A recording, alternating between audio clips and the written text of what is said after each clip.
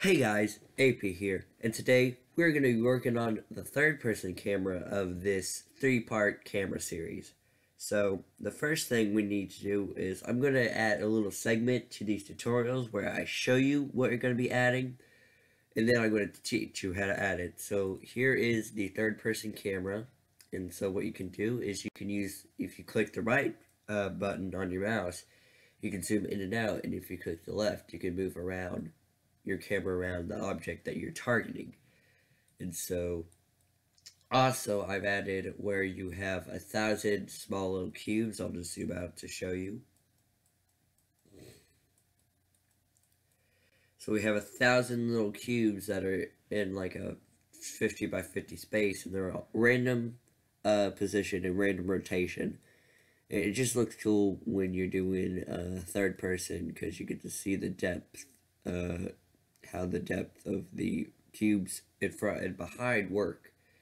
So we have this cube, which is the main cube, and then we have all these uh, randomly generated cubes. I'll teach you how to add that um, because you just need a entity array with a thousand or how many ever entities you want.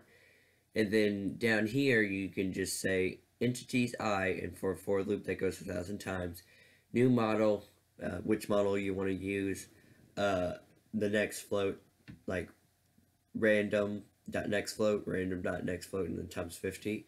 And we got random dot next float times 360 because there's 360 degrees. And then the main one is just in the center of all these.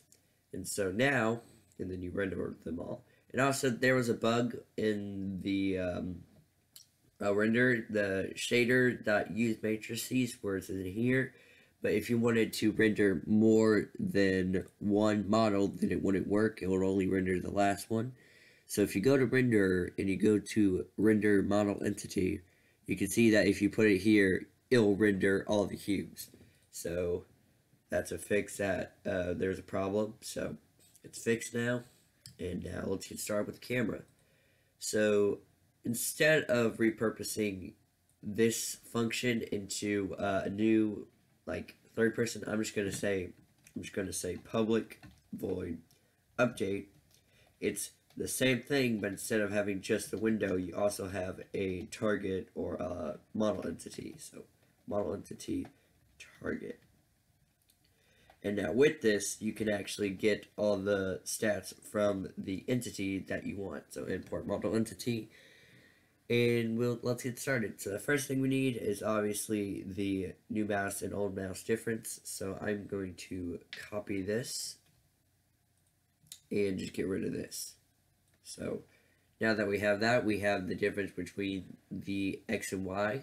So like I said in the last tutorial, it gets the difference between the last frames and the current frames, uh, just like from the past one to the now one and we can use that to actually move the camera. So we're going to do if window dot uh, is key pressed or is key down or dot is key. Since we're using the mouse for this, what we need to do is mouse uh, down. So is mouse down, then we have glfw.glfw uh, mouse button left, because we're going to do left first, then we're just going to put in how to move it up and down. So we need to do this dot, add rotation, uh, we can just copy this here. So if we run this and uh, where is it? Actually, no. Yeah, okay. So, it should work, but in a weird way. So, entity.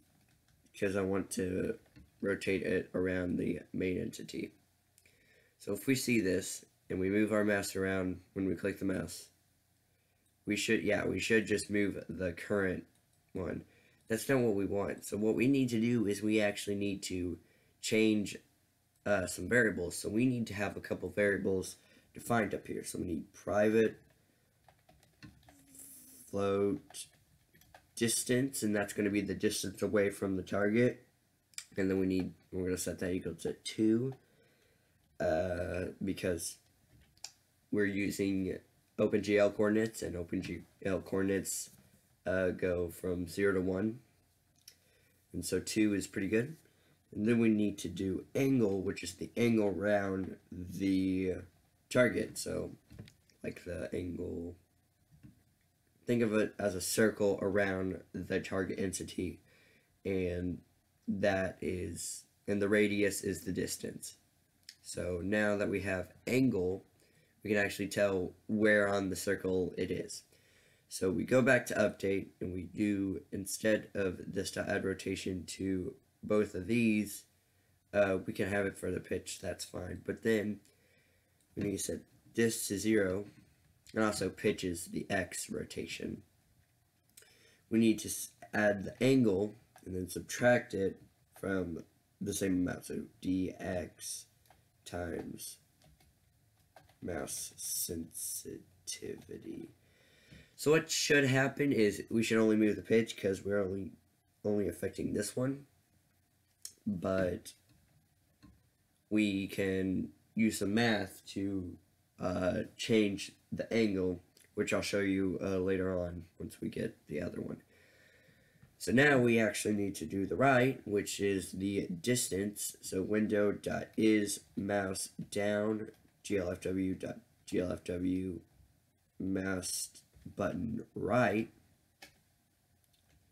then all we need to do is do some if statements. So if distance is greater than zero, because if it's great, if it's less than zero, then we will be opposite of the entity and we won't be able to see it. So we need to check if it's greater than zero, or actually greater than equal than zero. Then we will do some distance calculation. So distance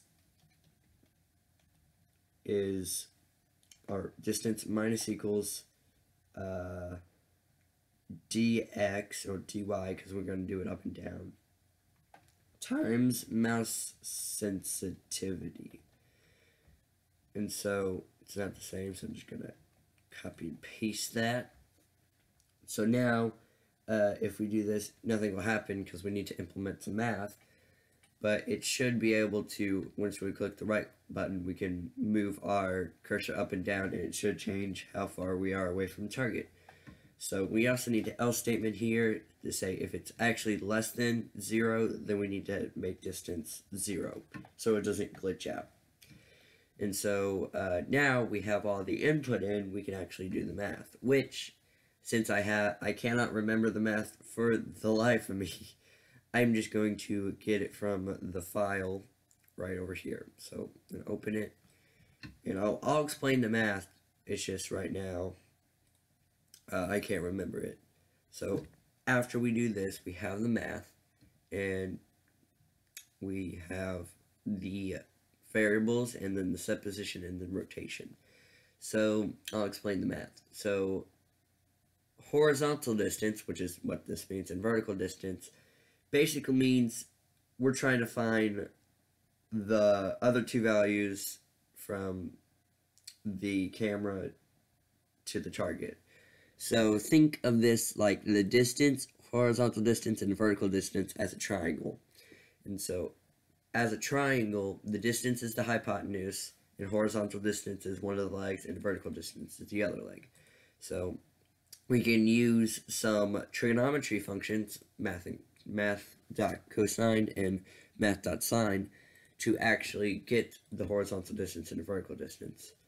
So to get the hypo, uh, to get the cosine of an angle, which is the pitch or rotation dot get x, we need to uh, divide the uh, opposite, which is horizontal distance, over the hypotenuse, which is distance and to get, actually no, that's sine. Cosine is adjacent over hypotenuse, sine is opposite over hypotenuse. So doing some backwards math, if you actually multiply, you can get the original distance.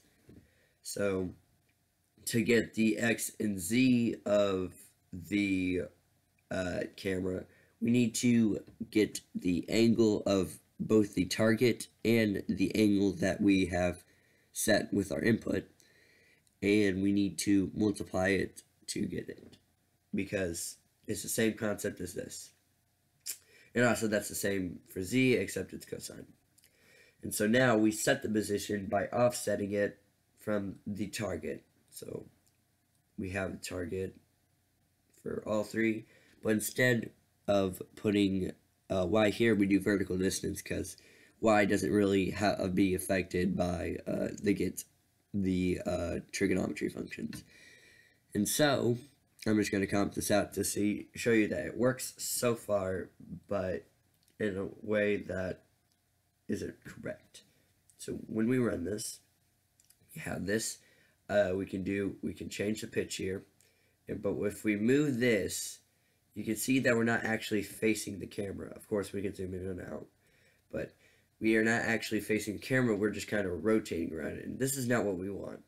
So the line rotation dot set y, which I'll do that, negative target dot get rotation dot get y plus angle, uh, faces makes the camera face the other way. So pause right here if you need to copy all this down.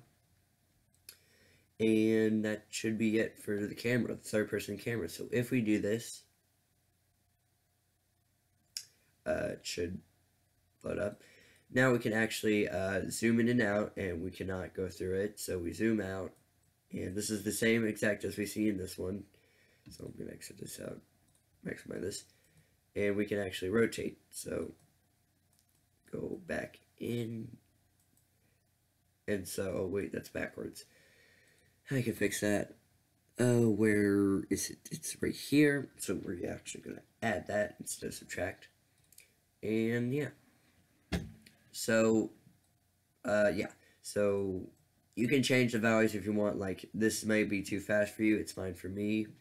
But this may be too slow for you but it's fine for me. Like you can change the values if you want. So it's not it's, it's very uh you can i made it able to where you can change the values of the mouse sensitivity with the set functions which i put in the last tutorial and yeah, that should be the it. This should be it for this three-part tutorial series on the camera. And you should have two functions which take either a win which take both take a window, but one takes a target for the third person. So, first person, which is one where you can uh, use the keyboard, and third person is the mouse. So just remember that. So this is it for this tutorial uh, next tutorial, we should be doing OBJ loading, which should take a little bit to get done. So I'm just trying to get these camera things out so I can work on that. But yeah, so that should be it. And I'll see you guys in the next tutorial. Bye.